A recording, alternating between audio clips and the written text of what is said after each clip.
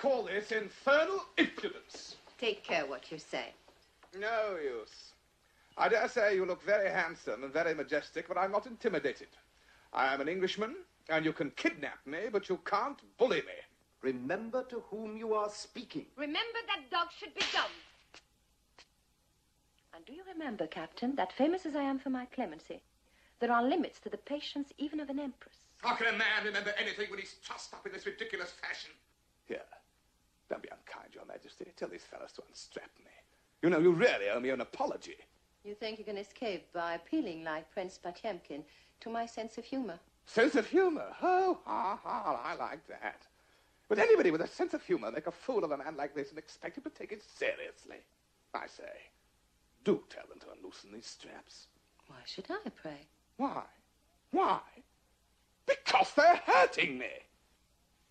People sometimes learn through suffering. Manners, for instance. Roll that nearer.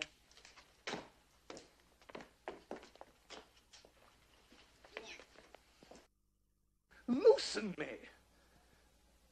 Oh, well, if you're an ill-natured woman hurting me on purpose, I've nothing more to say. A monarch, sir, has sometimes to employ a necessary and salutary severity. Quack, quack, quack. Done a better man! This isn't severity, it's tomfoolery. And if you think you're reforming my character or teaching me anything, you're mistaken. What are you grinning at? Oh, be merciful, little mother. My heart is in my mouth. Your heart on your mouth will be in two separate parts of your body if you again forget in whose presence you stand. Go and take your men with you. Five thousand blows of the stick for the soldier who is in the room when I next speak. Well, Captain, now perhaps I shall teach you how to be a footstool. I must really ask your majesty not to put the point of your imperial toe between my ribs. I am ticklesome. Indeed. All the more reason for you, Captain, to treat me with respect. If your majesty does that again, I shall write to the London Gazette.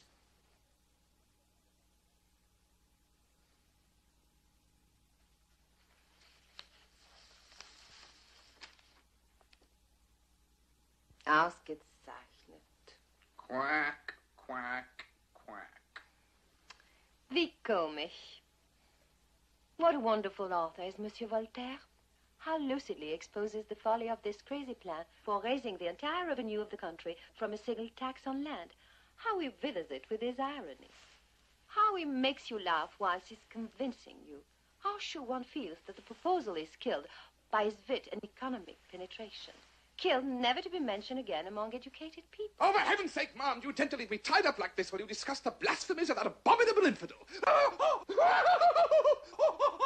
I understand you to say that Monsieur Voltaire is a great philanthropist and a great philosopher, as well as the wittiest man in Europe? Certainly not. I say his books ought to be burnt by the common hangman. Oh, oh, oh, oh, no, don't. Oh, oh, no, I shall faint. I can't bear it. Have you changed your opinion of Monsieur Voltaire? But you can't expect me, as a member of the Church of England. No! Oh, Lord! He's anything you like. He's a philanthropist, a philosopher, a beauty. He ought to have a statue, damn him. No, no, no, no, no, bless him. Send him victorious, happy and glorious. May eternal honors crown his name, Voltaire, thrice worthy on the rolls of fame. And now, will you let me up?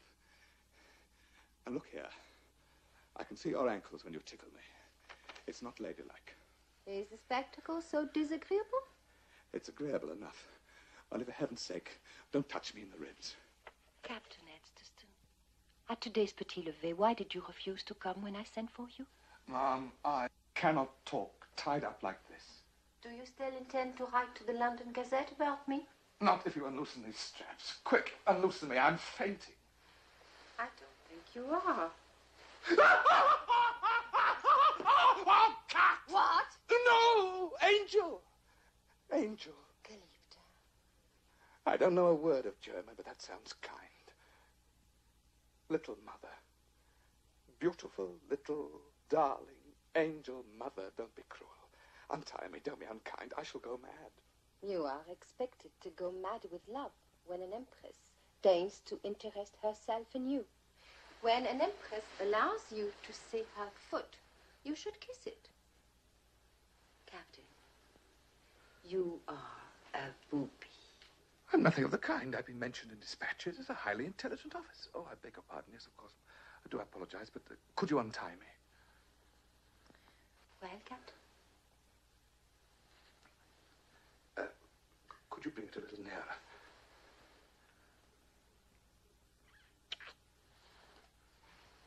Our congratulations, Captain. You are learning. Let's hope for further improvements, eh? But first, there is the matter of how you described me to the young woman you were dancing with. What am I? Rude, nasty, domineering, and op... opin... Opinionated? Ja, danke schön. Opinionated. Well, the fact is, Yes, Captain? Claire, Miss Gorse, my fiancée, was a trifle jealous. So I. She was jealous of us. That is good. So you lied to her. Yes. Ah, we forgive you then. Perhaps, Captain, you are not such a booby after all. A booby. Oh, I'm certainly nothing of the. Oh, I'm stiff all over. Oh, little angel mother, don't ever do that to a man again. Knout him, kill him, roast him, baste him, hang head and quarter him, but don't tickle him. Do I not have the right to amuse myself? Geliebte, my poor little aching captain. Catherine knows what will cure your stiffness. Hmm. Tut does good. Is that better, kleiner Captain? Ah, oh, yes. Just there. Like this.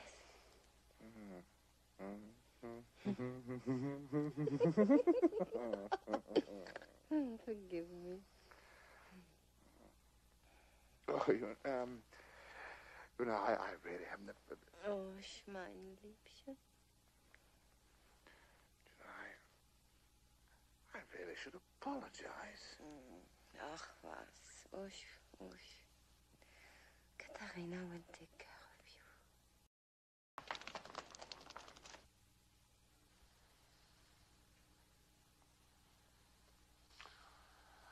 I could stay like this forever.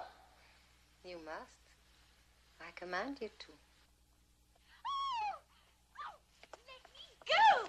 They're torturing Charles in there! Oh my God! It's Claire. I must get to She's coming in here. She will not come in. I forbid it. What shall I do? Your Majesty, would you be a little angel mother and tie me up again? Charles. I really am most awfully grateful. I didn't know they did this sort of thing in England. What happens now? Perhaps it would be better if Claire thought I were being tortured just to keep up appearances. Claire. You see, she really is most awfully jealous. If I'm not being tortured, it'll be the very devil to pay. I see. Very well, Captain. This will give me the greatest pleasure. Oh, no, no, not that!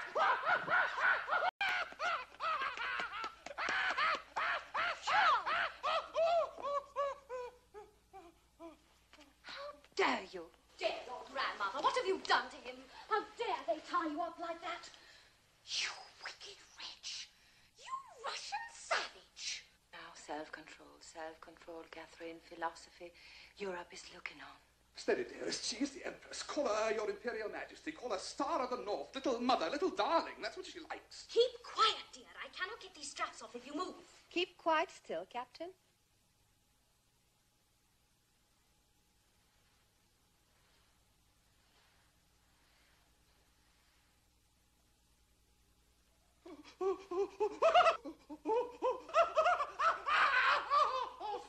Is that what I thought was your being tortured?